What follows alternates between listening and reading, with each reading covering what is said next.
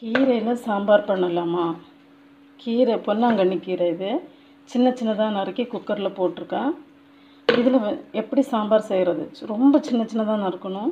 ஒரு பெரிய இலை இருக்குது ரொம்ப இன்னும் சின்னதாக நறுக்கிருக்கணும் நான் ஒரு ஓ- ஓரளவு நல்ல சின்ன சின்னதாக இந்த அளவு போதும். நறுக்கிண்டு இது கூட பருப்பு சேர்த்துக்கணும். நான் பருப்பு கழுவி வச்சுருக்கேன். ஒரு ஆளுக்கு ஒரு பிடி பருப்பு. நீங்கள் எத்தனை பேர் வீட்டில் இருக்கீங்களோ அதுக்கு ஏற்றபடி பருப்பு சேர்த்துக்கணும். தக்காளி டொமேட்டோ. நல்ல ருசியாக இருக்கும் இந்த சாம்பார். ஒரு முறை செஞ்சு சாப்பிடுங்களா? அப்புறம் வெங்காயம். வெங்காயத்துக்கு அப்புறம் கொஞ்சம் கொத் அவரைக்காய் இருந்துச்சு எனக்கு. கொத்தவரைக்காய். சாரி இது அந்த பீன்ஸ் போல் இன்னொரு அவரைக்காய். இந்த அவரைக்காய் தான் போட்டிருக்கேன். உங்களுக்கு கொத்தவரைக்காவை ஏதாவது ஒரு ஒரு காய் போதும். அதிகம் வேணாம். இப்போ அப்பளம். நான் அப்பளம் வச்சுருக்கிறேன். அப்பளம். காயம். இது நான் பீசஸ் போட்டிருக்கேன். நீங்கள் தூள்னா தூள் சேர்த்துக்கோங்க. எப்படி உங்கள் வசதியோ அதுக்கேற்றபடி பண்ணுங்கள் இப்போ மிக்ஸி ஜாரில் ஒரு ரெண்டு பீசஸ் தேங்காய். அதிகம் வேணாம். ரெண்டு பீசஸ் அப்புறம் மூணு பச்சை மிளகாய் உங்களுக்கு காஞ்ச மிளகாய் வேணும் காஞ்ச மிளகாய் இதுக்கு சேர்க்க வேணாம். ஏன்னா க்ரீன் கலரில் இருக்கணும் எல்லோ கலரில் இருக்கணும்ல சாம்பார். அதுக்காக இந்த கலர் பச்சை மிளகாய் சேர்த்துருக்கேன். இப்போ ஒரே ஒரு பூண்டு சேர்த்துருக்குறேன். சின்ன வெங்காயம் ஒரு நாலு. சீரகம் ஒரு கொஞ்சம் போதும். கொஞ்சம் மஞ்சள் தூள் தேவைக்கு போதும் இதை நல்லா blend பண்ணியிருக்கோம் பண்ணிடணும்.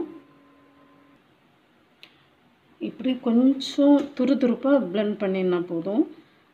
ரொம்ப அதிகமாக blend பண்ண தேவை கிடையாது இங்க கொஞ்சம் துரு துருன்னு இருக்கணும். துரு துரு.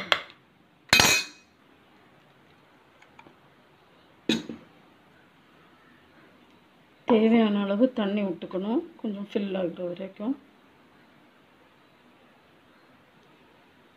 அழகாக இருக்குல்ல? இந்த கீரையெல்லாம் பச்சை பசேல்ன்ட்டு. இதுதான் அழகான சாம்பார் புதுசாக நல்ல டேஸ்ட்டாக இருக்கும்.